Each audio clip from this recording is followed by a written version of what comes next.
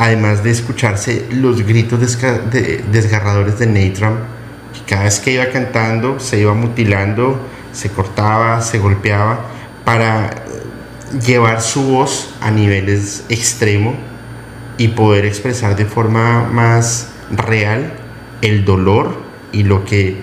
lo que él quería mostrar en estas canciones.